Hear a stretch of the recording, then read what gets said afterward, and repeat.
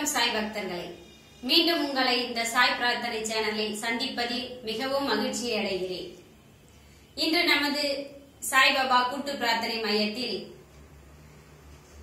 ராமநவமியை பாபா பிறந்த நாளாக இன்று கொண்டாட்டம் தொடங்கியது. இந்த கொண்டாட்டத்தில் இன்று குழந்தைகள் பெரியோர்கள் சிறியோர்கள் அனைவரும் கலந்து கொண்டு சந்தோஷமாக பாபாவின் முன்பு கேக் வைத்து கட் பண்ணி அனைவரும் சாப்பிட்டு சந்தோஷமாக இருந்தார்கள்.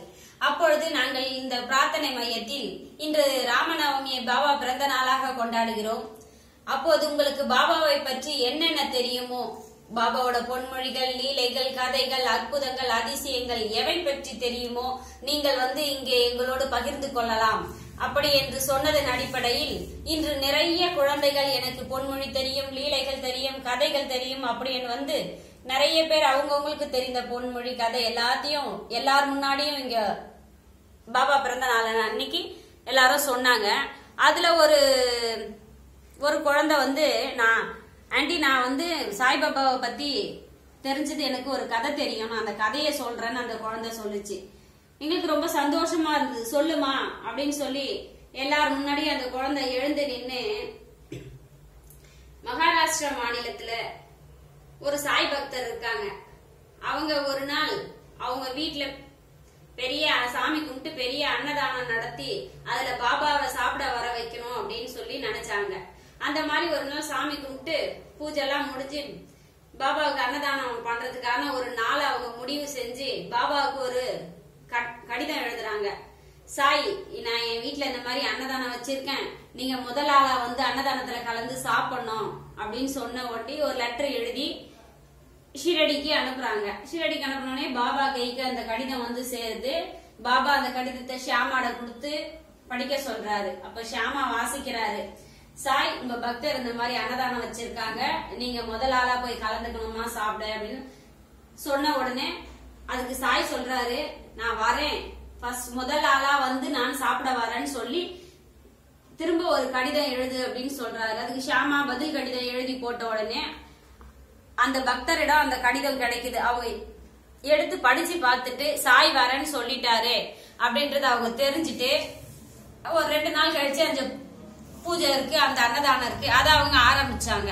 அப்ப வந்து பூஜை எல்லாத்தையும் ரெடி பண்ணிட்டு பலகாரங்கள் அன்னதானத்துக்கு தேவையான எல்லா ஸ்வீட்டு சாப்பாடு எல்லா வகையானதையும் ரெடி பண்ணி வச்சுட்டு அவங்க வாசல்லயே வந்து நின்னு விழி மேல் விழி வச்சு காத்து கொண்டு இருக்காங்க பாபா வருவார் பாபா வருவார் அப்படின்னு சொல்லிட்டு. ஆனா ரொம்ப நேரம் ஆச்சு சாய் வரவே இல்லையா?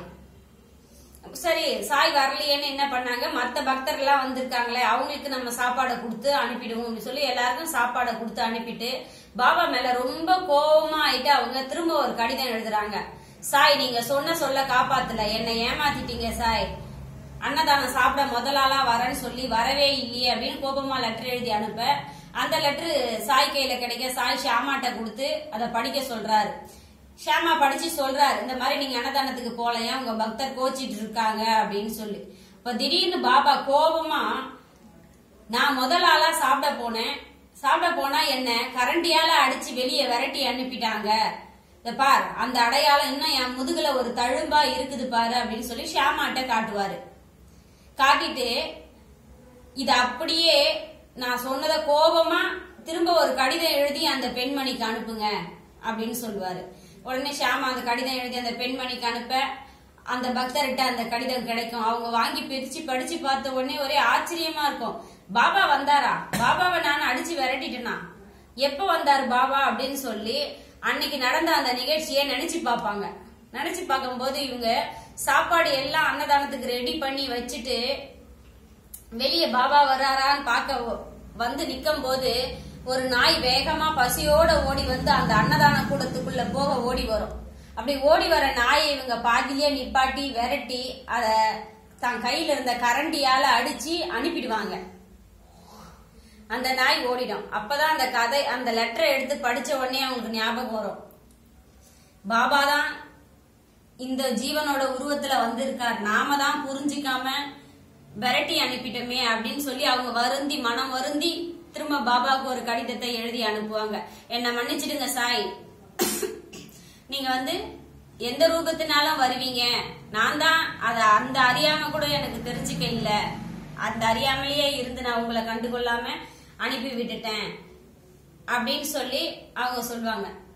லெட்டர் எழுதி படிப்பாங்க. அதை பாபா படிச்சு பாப்பார் அப்பதான் பாபா சொல்வாரு நான் என்ன பக்தரை என்ன நம்புற பக்தருக்கு என்ன முழுமையா நம்பி கூப்பிடுறவங்களுக்கு நான் எந்த ரூபத்திலயாவது காட்சி கொடுப்பேன். நான் சாயினா சாய் இதே ரூபத்துல வரணும்னு அவசியம் இல்ல. ஒரு நாயா பூனையா நான்கு அறிவு ஐந்து அறிவு படைத்த விலங்குகளா இல்ல ஏதாவது ஒரு பக்கத்து வீட்டுக்காரனோ அடுத்த வீட்டு ஏதோ ஒரு ஒரு ரூபத்துல வந்து உனக்கு உதவி செய்வேன். அந்த நேரத்துல அது நான் தான் புரிஞ்சுக்கிற அந்த தன்மை உங்களுக்கு இருக்கணும்.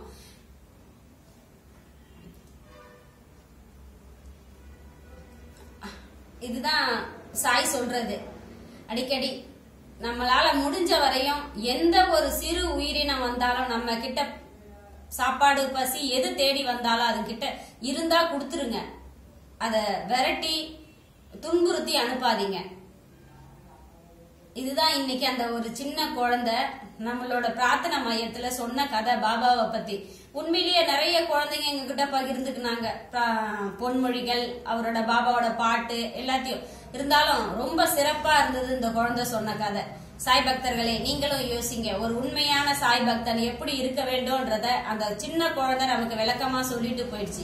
இந்த ரூபத்துலதான் சாய் வந்து சொல்வாரு நம்ம ஒவ்வொரு ரூபத்திலையும் சாய பார்க்கலாம். உண்மையான நம்பிக்கை பக்தி பொறுமை அவர் மேல இருந்ததுன்னா நீ ஒரு சின்ன குழந்தை ரூபத்துல கூட அவரை காணலாம்.